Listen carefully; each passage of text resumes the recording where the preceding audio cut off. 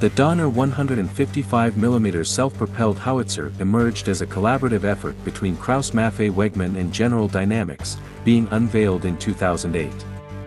Its nomenclature pays homage to the Germanic deity associated with thunder, alternatively recognized as Thor in Scandinavian mythology. Crafted to outperform the PZH-2000 SPH, this artillery system was conceived with heightened speed, reduced weight, enhanced potency, and superior efficiency in mind. The Donar represents a progression from the Artillery Gun Module AGM, concept, with an emphasis on catering to international markets.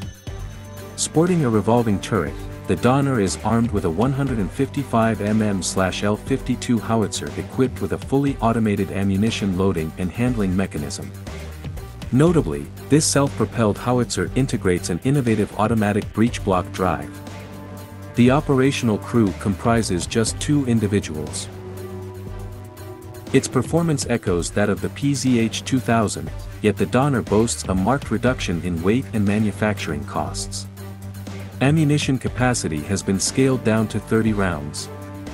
The system's firing range hinges on the projectile and charge amalgamation, 30 km using standard parameters, and 40 km when leveraging base bleed projectiles.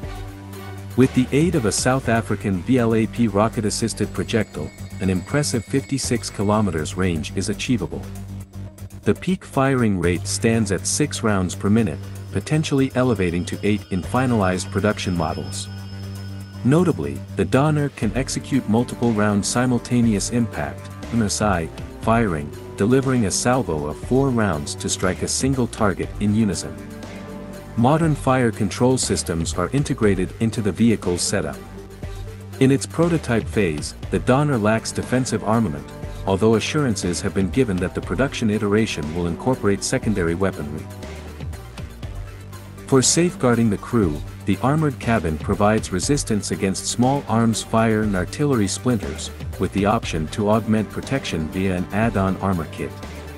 There's also the provision for an optional mine protection kit, and the vehicle is outfitted with NBC protection and automatic fire suppression systems.